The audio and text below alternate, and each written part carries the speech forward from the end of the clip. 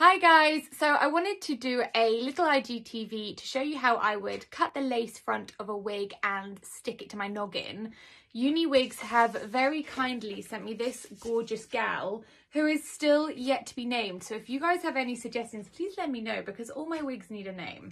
This is a Harper Remy lace front human hair um, wig in the colour Toffee, which is usually a little bit darker than I'd go because my pre-cancer hair was super blonde.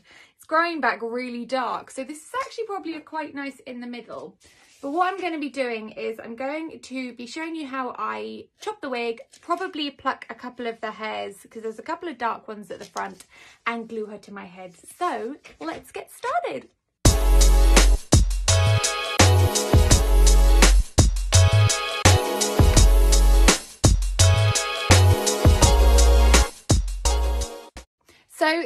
Is her straight out of the box. I haven't styled her or done anything only because I prefer styling it on my head.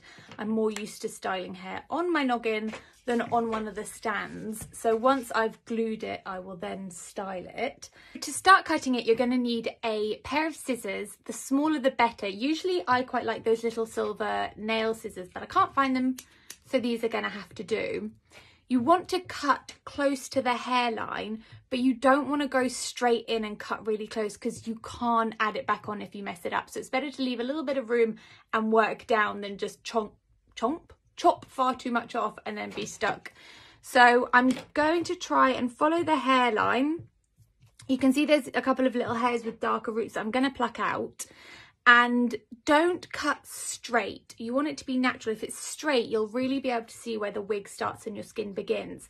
So you want it to just be nice and soft and not too close to start with. And so I'm going to make my first incision.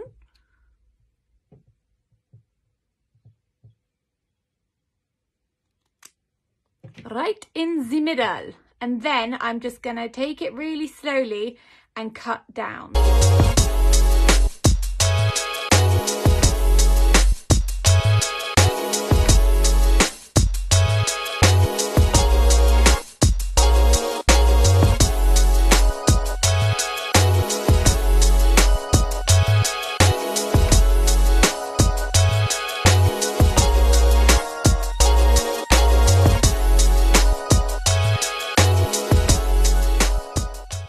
When you get to just where the sideburn is, you have to pull it a little bit taut. So I'm just going to clip back a little bit extra hair.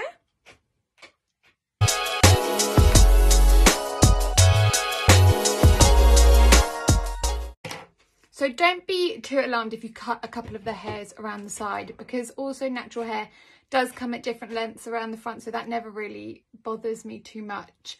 What I think I'm going to do though is I'm probably going to try and pop it on the head to cut the lace so you can get a really good look at what I'm doing. So now she's on the head, hopefully you'll be able to see what I'm doing. So I'm literally just pulling out the little bit of lace and very gently cutting along the hairline. Once you've done your first go, you can then go in and take away extra bits if you've left too much or pluck any hairs out that you don't like. Little, little cuts. There we go. So you can see here, I've cut all the front. I'm going to give it a little bit of a tidy up, but I don't want any straight lines. And I'm just going to take away this extra bit from under where the sideburn is. Here we go. So this is it with the lace front cut. I've literally just followed the hairline all the way around, taken a little bit extra off these sides only because it came out too much for me. And then I have popped her back on. So I am ready to start gluing. For the gluing, you want to pop your wig off. So I've just left her on the stand and I use the Got2b Glued. I use it in the gel, but I also know the spray is really good too. So this is just a little pea-sized amount. It's super, super sticky. So pop it on your fingers and you just want to pop it along all the front of your wig, wig, wig cap, wig cap way down into wherever that lace is going to stick to the front of your head. And then you just want to set it a little bit with a blow dryer just so it gets a little tacky.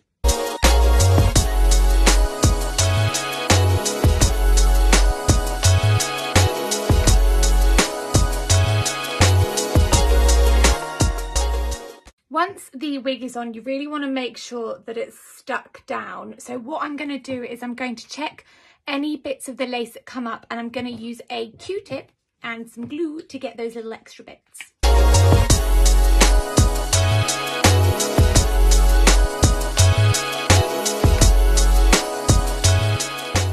I'm just pressing it down now to make sure the glue has really set and I'm going to use the hairdryer again to make sure that it's stuck.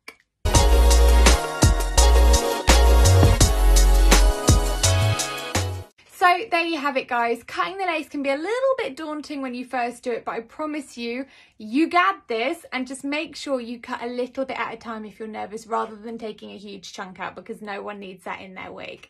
Um, I'm really impressed with the hairline. I think it's all come out really well and I think it's really realistic as well. Really realistic. There you go some good words for you guys. Um, I think it's very natural. It looks quite good.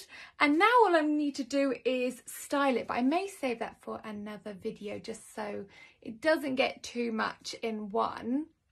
Uniwigs have really kindly given us a 15% off discount, which is Georgie, so please use. And if you do, make sure you tag me in your new beautiful wigs and have a lovely, lovely day. Mwah.